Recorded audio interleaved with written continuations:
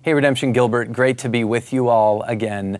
This next couple weeks, we're going to enter into a new series called Trust Love and Prioritize Unity. If you want to gather Bibles together right now with yourself and who you're with, uh, open to Romans 14. It's where we're primarily going to come from today. We also want to say Happy Mother's Day. Uh, for all of you who are out there, we appreciate your labor and hard work. For you moms who have kids out of the house, um, your mothering is worth recognizing. And so there are so many of us right now that are celebrating our mothers, but also there are many of us who are missing or grieving mothers who maybe were great and once here. Tim just told me uh, that this is the first Mother's Day he will ever have with his mother not alive. Um, she's just recently passed away. And so we want to recognize that there are many of you that are grieving the loss of your mothers. Others of you who are just grieving never having the mother that you ultimately wanted or wished that you would have. And so Jesus himself weeps with us when we weep, and he rejoices with us when he rejoices. And he calls us as the body of Christ to do that with one another. So, Jesus, along with all of us, are rejoicing with all of you who are rejoicing and want to give recognition where recognition is due. And we're also weeping with those of you who are weeping. And so, we have a Savior who understands us and sympathizes with us and rejoices with us. So, let us pray as we come to celebrate him. Father, we thank you for all mothers. And God, we think about those who are weeping right now and thank you that you weep alongside of them. And for all of us who are rejoicing, you're rejoicing with us. You are a Savior who is astonishing, amazing in your love for us. And we come now to celebrate you through song. In Jesus' name we pray. Amen.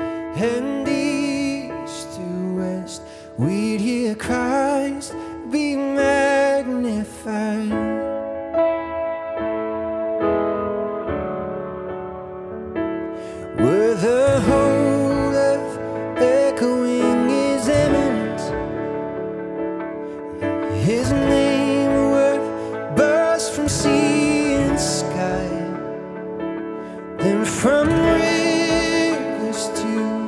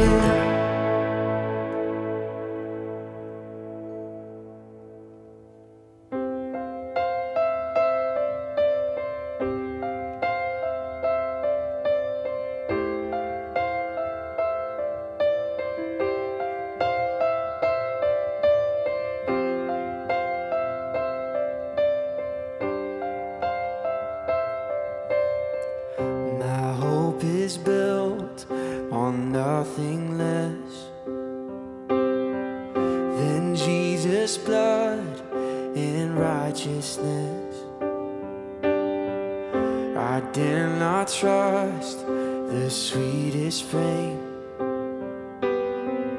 But wholly trust in Jesus' name.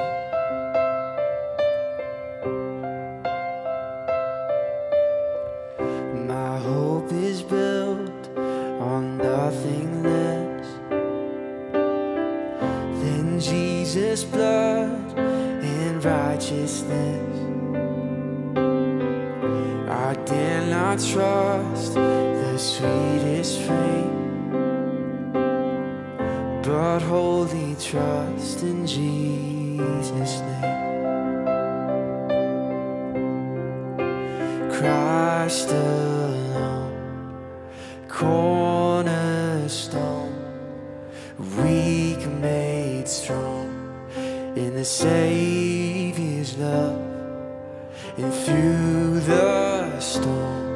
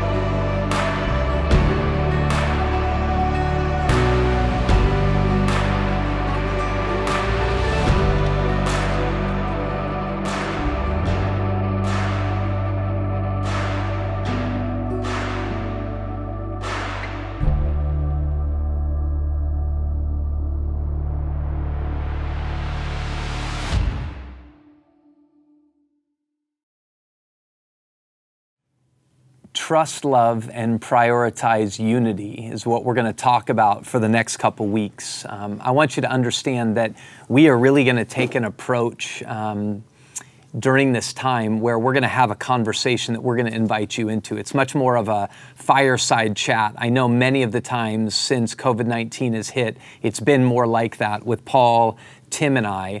Um, but today we're really feeling a pastoral burden. Um, to communicate to you this extraordinary command of God that is central to the heart of God and who God is in His very character.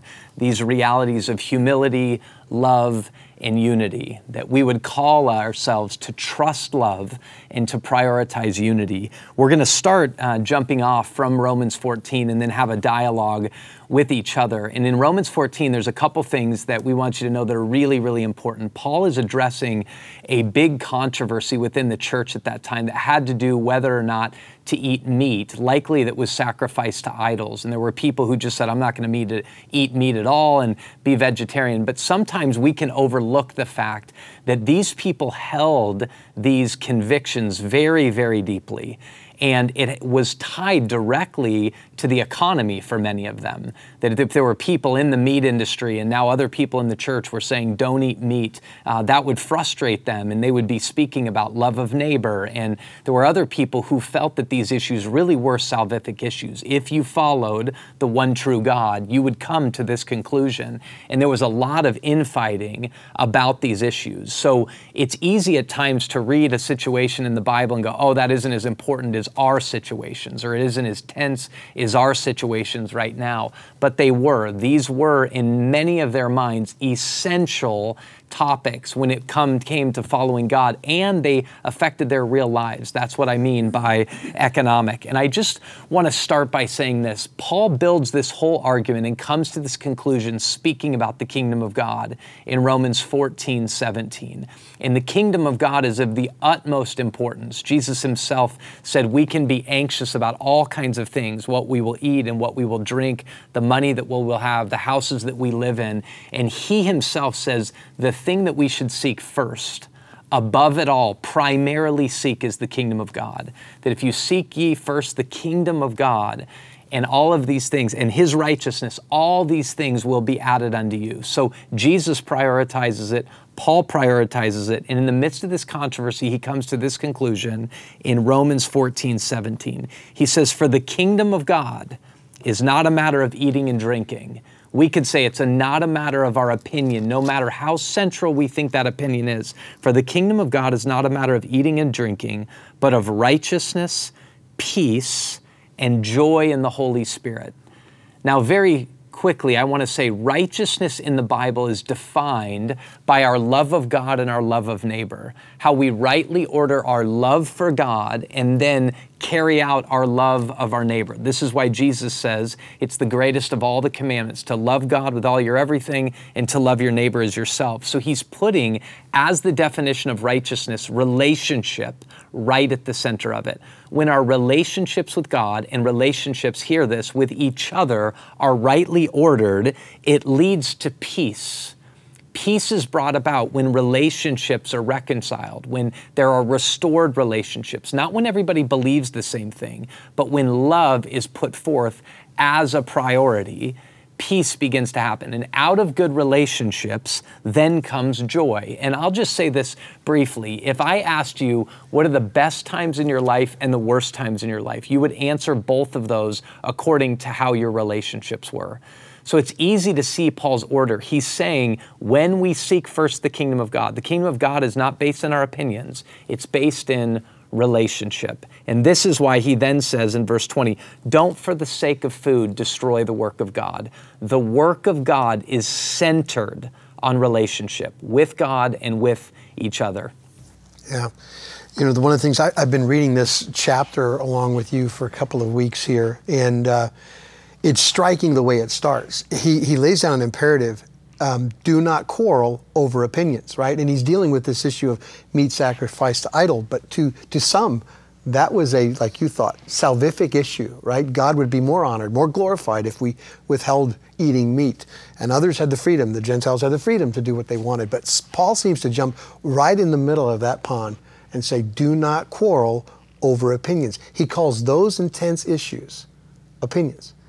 And, and that, that should strike us a little bit. It should slow us down and wonder when we're anxious, when we're emoting, when we're feeling our way through it, are we certain we know what, what it is we're dealing with? Are we dealing with some personally held good, true opinion?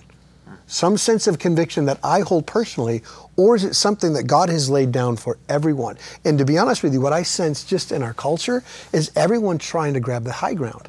They want to have the high ground to say, this is what God thinks, and therefore this is what we should all do. And I just feel I feel really convicted by this passage that it confronts uh, my tendency to grab my opinion and make it preeminent so that I can get everyone else to live accordingly too. And I just don't think that's available here. Just so you know, the opinions that, that Tim just mentioned is verse one, where he calls these things opinion. But Tim, I'm curious when you said that, how we should help each other and how we would help people delineate the difference. How do I determine if what I'm thinking is just my opinion versus like a gospel commandment or what Jesus would really be after? Because he does seem to order priorities here. oh, sure. oh yeah, certain. I mean, I mean the conclusion he's laying out for us. Love is the love is the mechanism to navigate the opinions or the different convictions. But if you want to know the difference between an opinion and a conviction, I'm not certain um, anything other than the gospel alone. There are, you know, some smarter men than me have laid out grids for you to be able to discern kind of what are the main things and moving your way to the things that aren't the main things, which I think is what Paul is dealing with here. And uh, the things that make us Christian, like our confession, is the main thing. It's uncompromised. It, it's, it's what decides who is in and who is not of the church, right? They're the absolutes of Jesus alone. He rose from the dead, those kinds of things. And then you move very quickly into things that the Bible does address, but churches disagree on. And there's, you know, I suppose there's an explanation why there's so many churches in the world that people take different secondary issues to the gospel alone and say, we're comfortable here about baptism, or we're comfortable here about roles of women or whatever. And then you move into this ca- category that I think Paul is dealing with here is when, when you get into the, should, should someone, should someone live uh, high on the hog or not? Should someone, you know, when I was growing up, my dad had rules, like rules. You shouldn't dance, you shouldn't play cards, you don't go to prom, things like that. Well, it clearly is not in the scriptures, but my dad felt deeply convicted about it. And let's pretend, just for just for the sake of easy argument, that we're talking about those kinds of things, the things that you feel very passionate about, but you have no biblical defense for. Hmm. You are now in this opinion category, right? And I suppose if we kind of get back and go, let's look at Corona for a second, this COVID 19 crisis. When, when, does a, when does a society open up? When, when is someone fairly protected?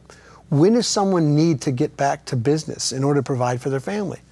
I'm not certain I have clear answers on any of that. And I'm certain that everyone closest to their particular story has a better understanding of that than I do. But it doesn't seem, uh, we were in a conversation uh, last week, and one of the guys mentioned the injustice almost in any angle you pick. Like if you pick someone who is going to lose their business if they don't go back to work, well, that doesn't seem fair or right.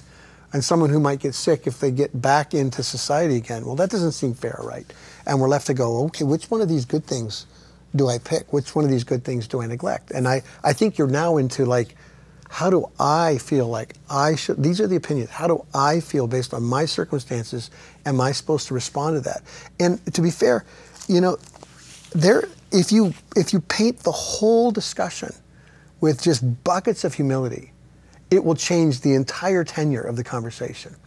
What we don't know, what's the, what's the pace that we need to take in order to get into the shoes of another person, to see from their vantage point so that we can love someone other than ourselves? Because what he does seem to apply, at the, he says it in Colossians says, the preeminent thing is love. Like all these things that we are to do, to do and be based on being remade, new creatures, right? Um, is everything to do with how we treat other people. And he says, Paul says in Colossians 3, and the most important thing is your love for each other. And I don't know how you get there unless you're humble enough to slow down to ask questions about how is that person seeing it and what should I do for them? You know?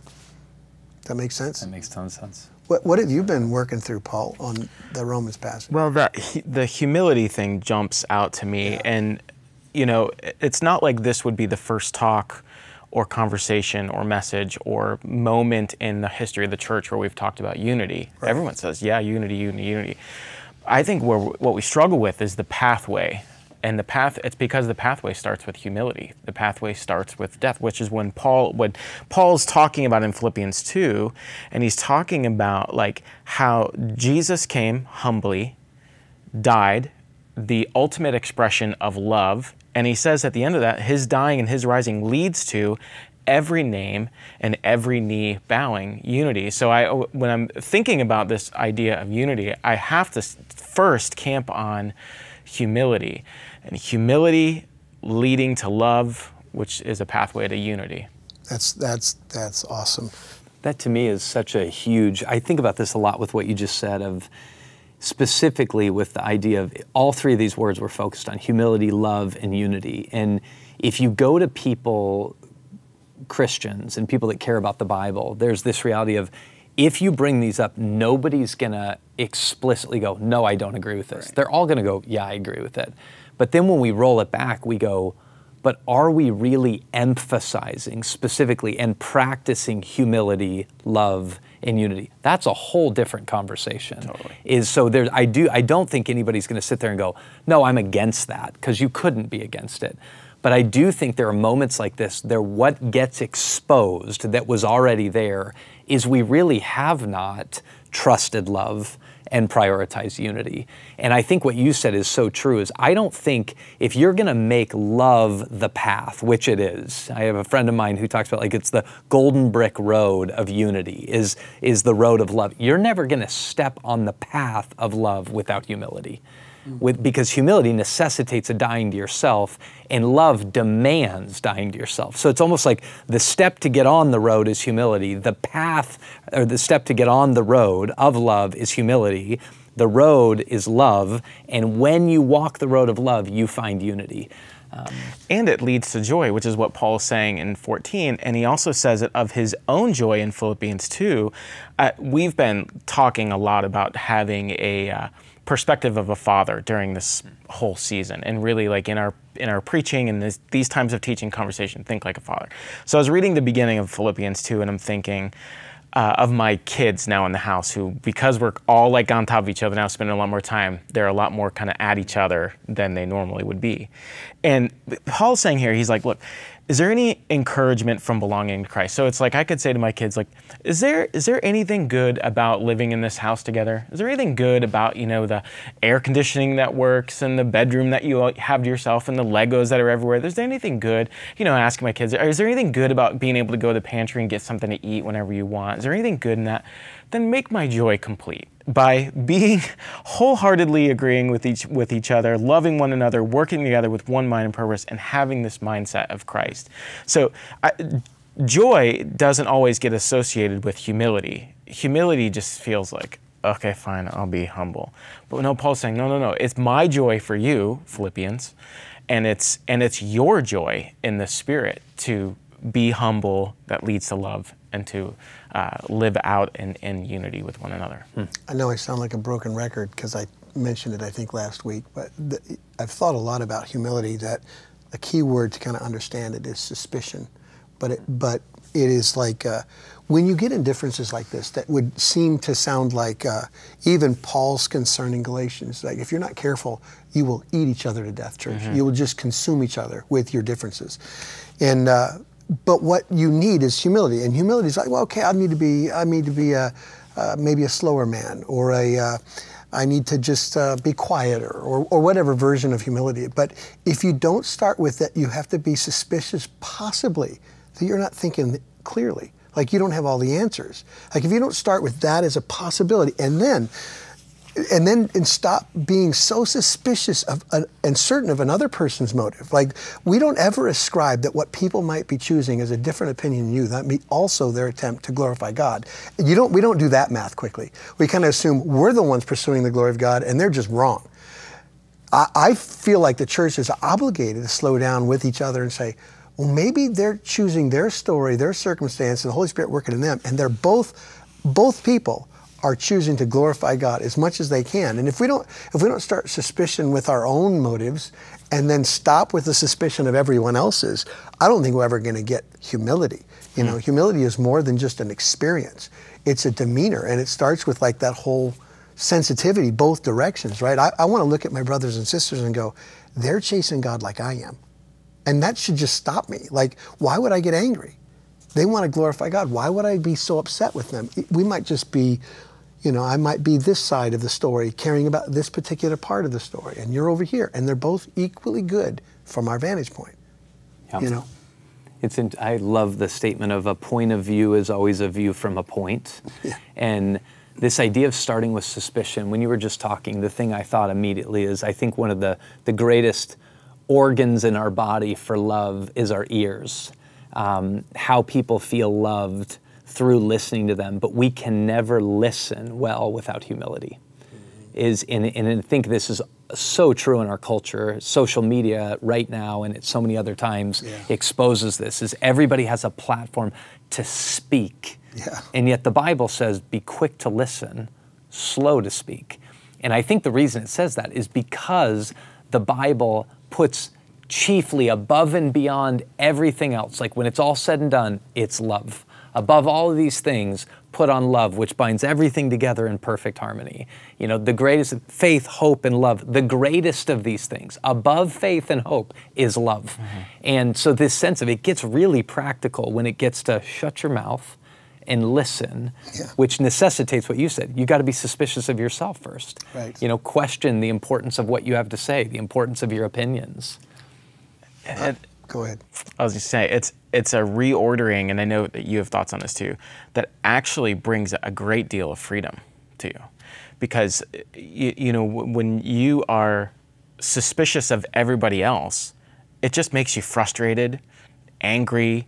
They're always wrong. You know, it leads to kind of all these things where, where conceit, selfish ambition, uh, all the things that Paul is warning them ag- against. Humility and love actually lets you walk in freedom. I don't have to act now that my personal preference or even my personal experience sets the precedent for the entire population. Because I do it, everybody has to do it. Because they, you know, because they don't do it and I do, they're wrong. I, I can be freed up from that. And I'm actually freed to disadvantage myself for the advantage of others. And apart from apart from the love of God, I cannot do that. I, I, am I'm, I'm not free to finally love the way that I should love. You know, there's a. I'm always a pragmat guy. I always go to like, how do we fix it, or how do we, how do we get to the bottom line? And I'm certain there's way more to talk about is if you want to just help people. But I don't know if if what you experience is predominantly the nature of sin in man, or if it's a real an American kind of value, mm. and and that is, I've got my opinions. They are my laws, and I'm not just going to embrace them personally. I'm going to flaunt them. I mean, you talked about social media. I'm not on social media, but nothing drives me more crazy than watching the church flaunt their opinions at the detriment of their brothers and sisters. They That's just, a great statement too. At the detriment. That's it. Uh, because it, it's not. It's not just. I get to say what I want to say and don't care about anybody else. In fact, if you take Romans 14, when Paul is saying, "You, you people who have the, who have, let's say, you're the stronger brother and you're free to eat meat," he says, "If you eat meat and harm your brother, you're flaunting that freedom in the face of your brother and sister, and you're causing them harm. And I'm just saying, it, we might we might fall on different sides of this based on your strength of what you believe or whatever.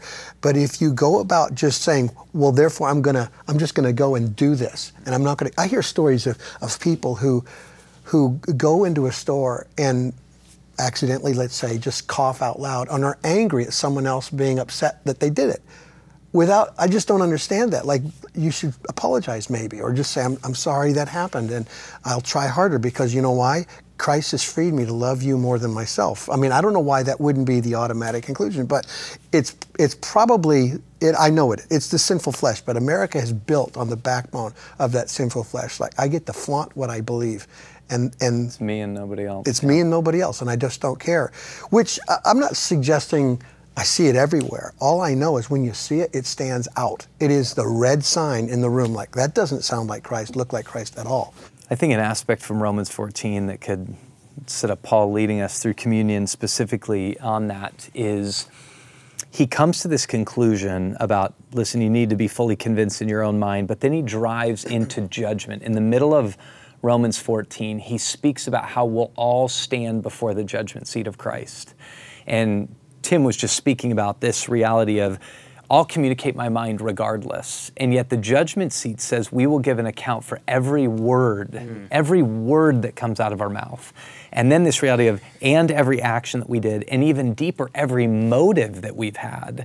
And I am, I was um, speaking, I think, to both of you at different times in the past week to week and a half. And I'm just so convinced the more I study the Bible that the central frame of the judgment is going to be how did you love? And how did we love God with all of our everything, which expresses itself in how we loved our neighbor as Christ loved us. And so when we realize we'll stand before the judgment seat of Christ, and that at the end, the one thing that lasts, remember that, the one thing that lasts, you know, here are the greatest things faith, hope, and love, 1 Corinthians 13. The greatest of these is love, means, okay, the thing that lasts in the end is love, and we're going to be evaluated according to how did you live like Christ for the sake of others. And that's, that slows you down. I mean, you want to talk about a, mo- a minute where you go, I get suspicious of myself, and the sense of, man, the ground is so level that it's only in that place of deep humility and individual suspicion rather than confidence that we can actually love. Right. I just feel like uh, the way to kind of tie a bow on this, because there's so much in me, um, and we'll get back to it, I think, next week when we talk about this picture of unity in John 17, is um, just the techniques of, of repentance. You know, like, I, I don't know. Um, you know, it's interesting to me, and I got it in me. I mentioned it to you yesterday, just in my own devotional life. Every once in a while, this is my habit. I'll be so aware of my sin and then I don't want to ever speak about anybody else's. And then in a nanosecond, I forget my sin and I'm ready to respond to everyone else's. And that whole thing is like always at fight at me. I'm, I'm a great judge by nature, right? But the gospel is so trying to crush that in me. It wants to make me small and go, Don't you remember where you are? Don't you remember who you are? Don't you remember what you do? I do. I know what you are. So slow your roll. Don't don't behave that way. Don't talk that way before you before you are quick to fire off an assessment of someone else. You don't know them, hmm. but I know you, and that's what I, I don't live there all the time. But that's what I'm fighting for. Like God, just make me so sensitive to me that I can never open up my judgment, my lack of full wisdom judgment on everyone else. So I just feel like that's the that's what we got in store for us next week as far as unity goes, um, and I, I'm thrilled about that. So. Um, can I just pray for us Yeah. as Yeah, we just wrap this moment up? God, I thank you so very much that you, uh, your love superabounds and you don't get worn out on us, because I know I would. Um, we are fickle people who have fickle opinions, who have fears galore, and uh, and idols that we don't notice. Um, but God, we're yours, and we are loved by you. And so, Lord, we, we just ask for you to take this moment in our church, impress on us what is most important to you, that we would be humble and that we would love. God, make us like Jesus. And where, and where we have walked, um, maybe unconsciously, in an insensitive way towards others, God, wake us up. And where we have boldly flaunted our thoughts and our feelings and our fears, I pray, God, you'd slow us down. And you would make us like Jesus. And I pray what we would hear, what we would know and sense over the next weeks and months is that God is doing a work of love in our church. And I pray this in the name of the one who loved most, Jesus. Amen. Amen. As we move to uh, a time of communion, in, in John chapter 13, John is setting the, the scene of the Passover ce- celebration with Jesus and his followers, his Last Supper. Um, and John tells us that Jesus does something very peculiar, at least it would have been very peculiar to them. Um, it says that Jesus knew everything the Father had given him authority, and so then he gets up from the table, takes off his robe, wrapped a towel around his waist, poured water into a basin, then began to wash the disciples' feet, drying them with the towel that he had around him. And Simon, Peter, he objects to this. He's like, You're not going to wash my feet. And Jesus explains to him why he has to do that. But then in verse 15, he says this Jesus says, I have given you an example to follow. Do as I have done to you. And what Jesus is saying is, look, in this exercise of not just wash your feet, which is a tangible need of yours, but I'm showing you the picture of how you are to live your life. Christian love starts at the feet. It starts at the lowest place. Um, and I think, in terms of what we've been talking about with humility and love that leads to unity, we need to be a people who follow the example of Christ, where instead of trying to fight for the high ground, like Tim was talking about, we dive, we say, How low can we go to love uh, my brother and sister and the world around me? And Jesus would prove that in the ultimate way on the cross, uh, which is why every week we take uh, the bread. And the bread represents the body of Christ, his life, perfectly lived, perfectly obediently sacrificed for us. So take the bread and eat. At the cross, um, the blood of Christ was shed blood that ushered in and sealed a brand new covenant, a brand new unbreakable promise with his people. Um, the sacrifice, the true atonement for our sins. Let's take and drink.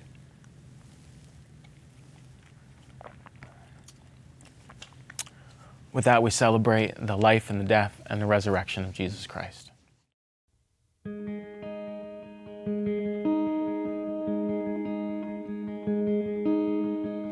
I see the King of glory, coming on the clouds with fire.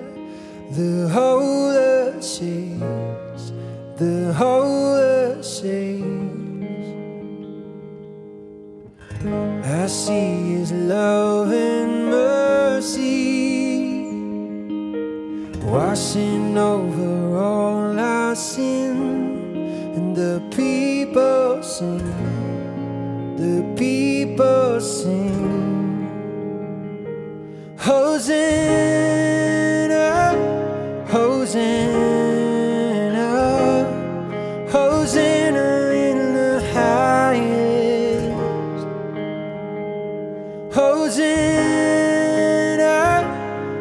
sin.